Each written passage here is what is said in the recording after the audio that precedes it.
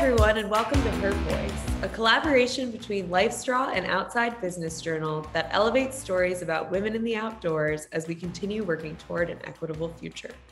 I'm your host, Leslie Barrett, standing in for Denisha Jenkins. My guest today is Dr. Kim Hires. Welcome, Dr. Kim. Hi, Leslie. Thank you for having me. In case you don't know Dr. Kim, she's a leadership coach, speaker, and author who specializes in burnout prevention and recovery. So, Dr. Kim, can you tell us a little bit about the state of burnout right now? So, burnout is actually an interesting thing. So, prior to the pandemic, anywhere from 30 to 60% of employees were in burnout.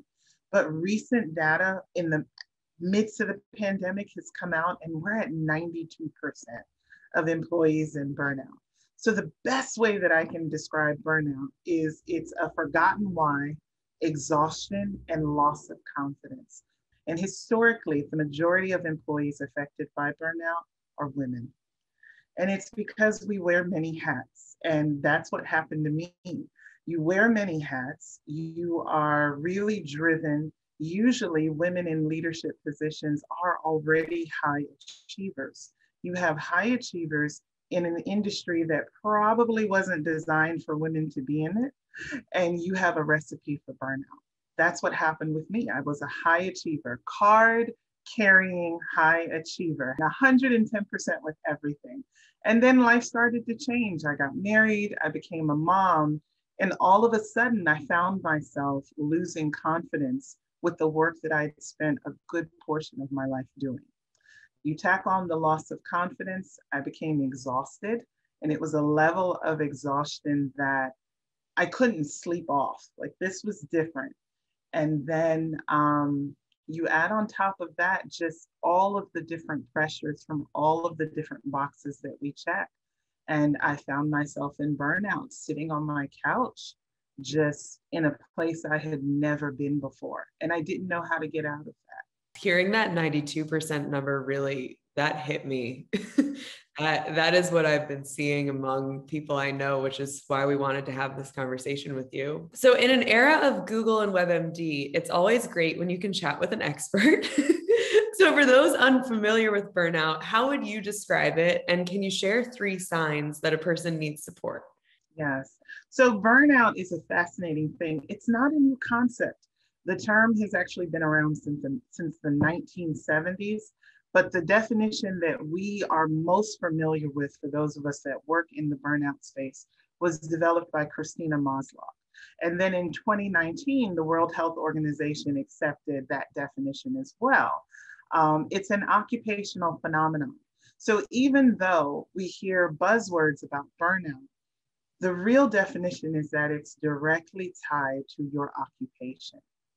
And it's the result of unmanaged chronic stress, specifically chronic work related stress. And three signs that you are in trouble. The first sign is the exhaustion. You can't vacation it off. You can't sleep it off. You can't go to the spa or do anything. It is like wearing a heavy coat of armor all the time. And it's whenever you think about work, that's when you feel the weight of it. So that's how it differs from depression because it's not as generalized as depression. You pull the person out of the harmful work environment and they can recover. But so long as they stay in the work environment, then they experience the burnout. Okay. The other thing that you look for is loss of confidence. So originally, when burnout was first being researched, what they looked at was, oh, your performance changed. But for me, I've been in coaching for seven years, and I have been fortunate to work with some real high achievers in different industries. And what I can tell you is the scariest thing about high achievers and burnout is their performance will not change. They, because they are so used to operating under such high pressure and they are highly resilient individuals, their performance doesn't change. It's their confidence that changes. They think that they aren't doing a good job. Their supervisors and everyone else around them will say something completely different. But when I get them in a room, when I get them on a call, they think they're falling apart. They think that they are failing at everything. So it's the exhaustion, it's the loss of confidence, and then the final thing is disengagement. If you are dealing with someone that historically they just seem to enjoy what they were doing, if you notice that they are checking out in a classic phrase is, I just don't care. That's usually a sign that they're in burnout because they are psychologically checking out, but it's not because they don't care. It's because they're in survival mode and they are at capacity. And it's not that they don't want to be uncaring, they literally don't have it in them anymore. Cool. I'm gonna not cry. That was that was resonated so deeply. That's so much of what I've seen and experienced this year, like in particular. But to your point earlier, like before the pandemic, right? I feel like the pandemic has amplified so much of what already existed um, and is like making it unavoidable. And the burnout is a big piece of that. yes. The thing about the pandemic, so while it is unfortunate, when you look at it from the perspective of, well, what did we learn from this experience? The pandemic was the ultimate Black Swan event. We've had Black Swan events before, right? World War II, World War I, 9 11. We've had those events before, but never on a global scale. And never has every single industry been affected. And so for me as a coach, there's a part of me that gets excited when I see conflict or when I see tension because I'm like, that's an opportunity for growth. That's where you need to grow. That's where you need to grow. So I'm looking at all of these industries, literally just go, ah, this looks terrible. And I'm like, no. There are a couple things that came out of this pandemic. One, we've been playing leadership for too long. This pandemic exposed that we need real leaders in leadership positions. We were playing leadership. Two, it showed that the way that we worked was not sustainable. We're still using a factory model as though people are machines. And what this is saying, we have more women in the workforce than ever, particularly in North America. And we're saying that those, the way that we used to work, that doesn't even apply anymore we were we were burning ourselves out we were working so hard and at the end of the day the thing that we thought we could put security in wasn't even secure. Right. In an instant the way that we worked across industries changed in one week. Yeah. One week. Yeah. So that brings me to my next question. Do you have solutions for companies that they can implement? Because this is a systems issue right? We often individuate it and say that you're burnt out so you need to go heal but really the system needs to change. So yeah. If there's anything that you have to offer for companies that's who was watching with us today so the interesting thing about burnout is it's 50% the individual and 50% organizational culture so when the World Health Organization released its definition, the, the premier expert on burnout, Christina Maslach, or Dr. Christina Maslach, she offered just some gentle criticism about it. She said, be careful with making it an official diagnosis or going down that road. Because if you go down that road, then you put all of the onus of responsibility on the individual. But it's not just the individual, it's a combination of the individual and the organizational culture. There is only but so much a person can change in a, in a certain environment, right? If, if you put a cactus in water, well, eventually the cactus can only be a cactus for but so long. You have to fix the environment that it's in. It's not designed for environments like that. So when we think about work culture, the average human is not designed for current work culture. And we really need to take a step back as leaders. I'm really talking to the leaders because you are the architects of the culture. Everyone else in the organization is going to mirror what you do. So if you don't have boundaries, if you no longer find joy in what you do, you can't fake the funk anymore and hire for that. You're going to see a reflection of you throughout the organization. So, this is where, for leaders, I would say this is the time to not shy away from leadership development. We are in the situation that we are in because of a failure of leadership, period. Really tap into that leadership development and take a hard look at the culture of your organization. Great. Well, lastly, um, you were able to figure out how to stop living like you were on fire for those who are on a path to burnout or in the midst of it now, what ahas can you offer them? And how can we support our peers, friends, and coworkers on their journeys? Okay, so ahas.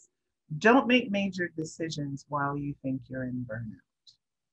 A brain in burnout is perceiving the world very differently. There's neuroscience behind it, right? Our brains were not designed to be bathed in stress hormones constantly. And so there are some effects that come with that. And what tends to happen is because our perception is altered, everything feels painful, right? And our first instinct can be, I want to run from the pain. But everything feels painful. So, what I always encourage clients try to heal in place if you can if you can't, then develop a healthy exit strategy that's not going to be more of a burden. But what I will always advocate for is don't just run from the pain. What is the lesson that you need to learn? For me, it was I am not what I do. I can take this skill set and go anywhere in the world and do whatever I want with it. And no matter what I'm doing, whether it's being a wife or being a mother or being a scientist or being a coach, I'm still Kim. And learning to love Kim and discover Kim and recognize that who Kim is is not tied to Kim's performance. That was a huge aha moment. The other thing was, I didn't need to set myself on fire to keep my organization warm. Mm every position has a succession plan. And for most high achievers, our 50% is the average person's 100%. And then the last aha moment was I gave myself permission to love the life that I prayed for. I knew I was in trouble when I began to resent being a wife and a mother because it was distracting from the work. And that's something a lot of women don't admit out loud. And I remember when I was in my burnout, how bad I felt about feeling resentful like, oh, if I didn't have to deal with this, I could just be doing this. And then it was like, wait a minute, but you always wanted to be a mom. You've and, and my son is a miracle baby. And you've always wanted to be, you know, you married the man of your dreams what's going on? And that was a huge aha for me. And I say that, and I hope your your viewers today get freedom in that because I don't think enough women say that openly. They're afraid that they're going to be judged if they say that. I was very fortunate in that I had an incredible support system um, and really was able to lean on my husband. I did therapy. I saw a coach. I did whatever it took to learn how to rediscover who I was and take off all of that armor that I built up for decades on this road to be successful and being a high achieving woman. And it was such a relief to finally take all of that off. Thank you so much for those insights. Hopefully, we can take those with us as we all work through our pandemic burnout journeys together. And thank you so much for joining us today, Dr. Kim. It's been such a pleasure having you. Could you let our audience know where they can find you? Yes, thank you for having me. This has been a wonderful conversation. I've had a lot of fun. Um, they can always find me at drkimhires.com. That's my website. Um, you can also find me on social media. I'm on Twitter, TikTok, LinkedIn, and Instagram and my handle is at Dr. Kim Hires. I keep it simple. They can also tune in to my podcast. Um, it's the Leadership Antidote podcast. It's available on Spotify, Apple Podcasts, and all of the major podcast streaming networks. Awesome. Thank you so much. You. And thank you for tuning into this season of Her Voice. Shout out to our partner, LifeStraw, for making these conversations possible.